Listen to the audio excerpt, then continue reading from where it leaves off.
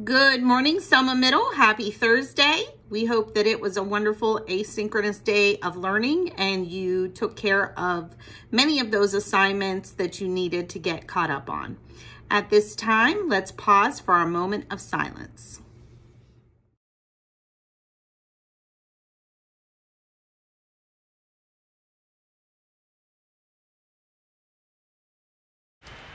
Thank you. Now please stand for the Pledge of Allegiance. I pledge allegiance to the flag of the United States of America and to the republic for which it stands, one nation, under God, indivisible, with liberty and justice for all.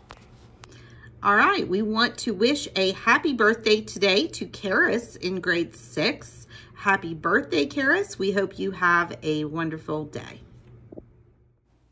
And remember here at Selma, we learn more, do more, be more.